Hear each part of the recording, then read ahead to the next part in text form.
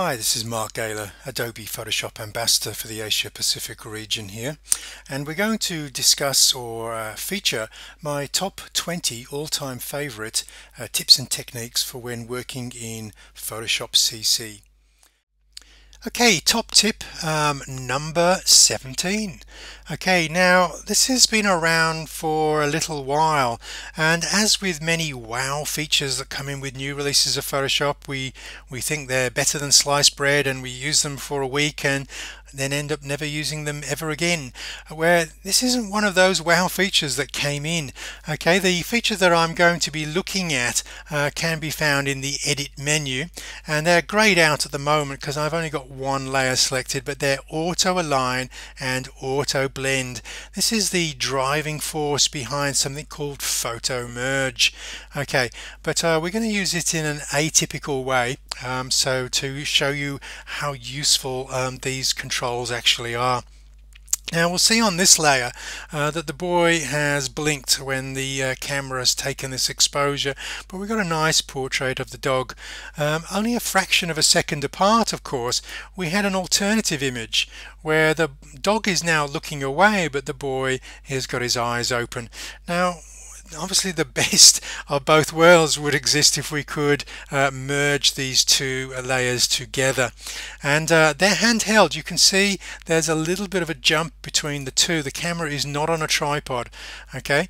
Uh, and if I was to lower the opacity of this layer you can see that uh, the shoulder of this boy and the knees they don't line up okay? And it's not because the boy's moving um, it's because the uh, the camera in the hands is moving okay? So this is where this feature really comes into its own. Okay we'll select both layers. Okay well, I've just held down the shift key as I selected the layer below there so that they're both selected now. Now when we come up to the edit menu uh, they're no longer grayed out. We can auto align those layers okay and I'll just take the auto again off this option. You can see this is mostly used in photo merge for panoramas but this is not a panorama so don't be uh, put off by those little icons. Let's just click OK.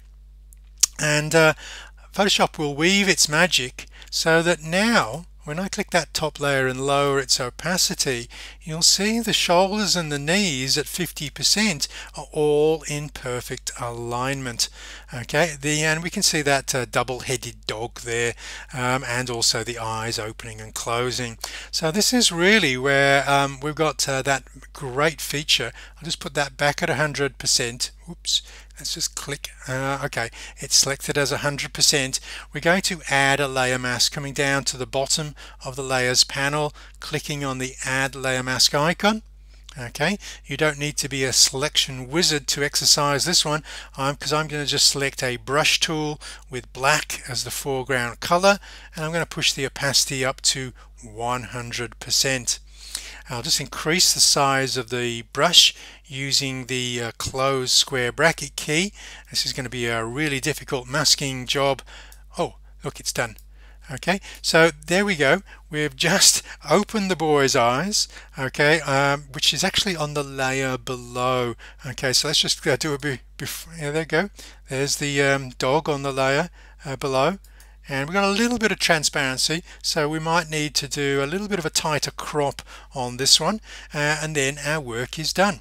So if you are taking pictures at a party or a wedding and you've got eight or nine people in your shot and you're pretty much guaranteed that somebody will look away or blink just take two or three shots and uh, you'll remember there's a technique waiting in Photoshop that is designed just for this um, task just to show you how far we can go with this auto align feature I have three images captured here by my good friend and colleague Abhijit Chattaraj uh, captured in Vietnam. Now he had the great idea of rather than uh, waiting for one decisive moment um, capture three um, uh, different moments.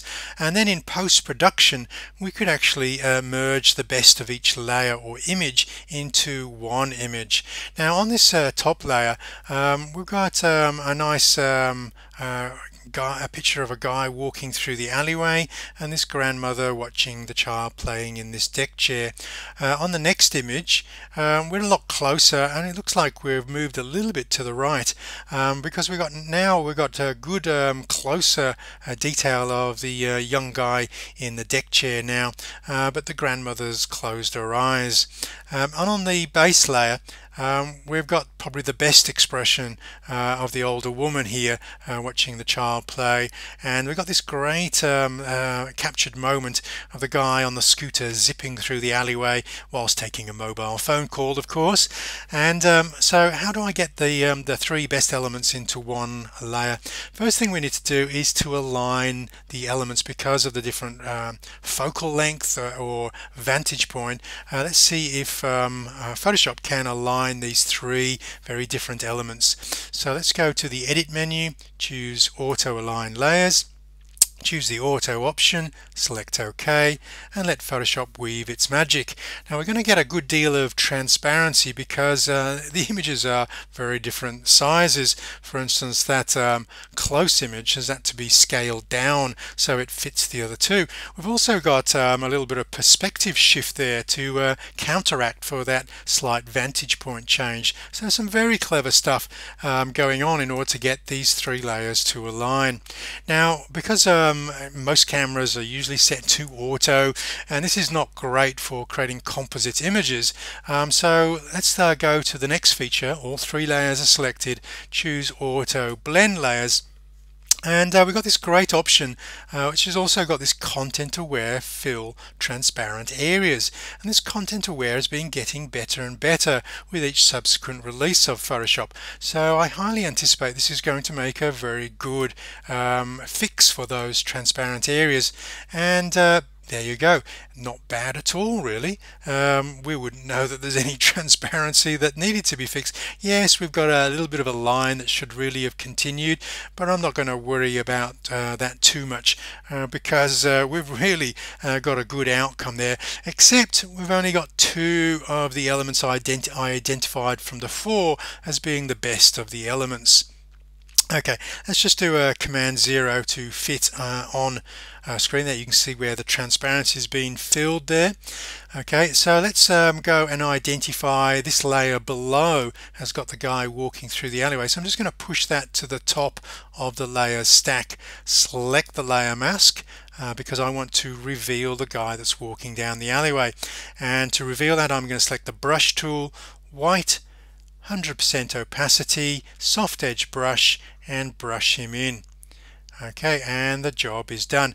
Now the uh, some of the tones might not line up exactly because of that um, uh, what the uh, Photoshop is being doing to make these layers match up uh, with that auto exposure going on. So the soft edge brush is quite important so we gradually feed in that new content there. Okay so was uh, three of the elements. It's only um, uh, left to uh, get the little guy into the picture so to speak. So we'll just push this up to the top of the layer stack. Uh, again select the layer mask. We don't want to be painting into that layer. If ever there's a risk that you might actually paint into the layer just um, lock um, the layer um, uh, which will help you know like we can lock various elements uh, locking the image pixels will make sure that we can't accidentally damage uh, the pixels on that layer. Now with the layer mask selected I'm just going to go in and uh, reveal the guy on this layer. Now I'm gonna have to paint quite a lot to get all of those tones merging in which includes a little bit of the chair and his legs. Uh, enough. I'll probably stop painting where we go into the smoother continuous tones of this image. Okay so I think I've got him all. Okay and I think uh, that's going to work. Okay one two three four best elements all on the same layer. And uh, we don't even have to crop unless we're really worried about what uh, content aware fill has been doing in those transparent areas. So that's really how far we can take that uh, auto align uh, and also its companion there which uh, is the powerhouse uh, behind photo merge which is the auto blend as well. Okay. And that uh, concludes uh, tip number 17